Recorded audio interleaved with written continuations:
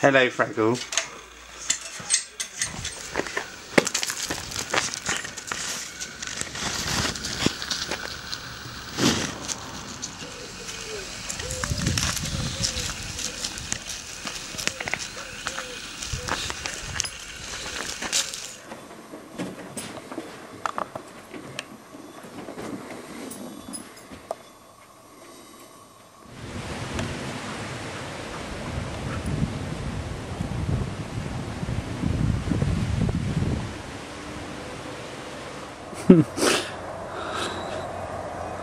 He'd like to if he could, I think.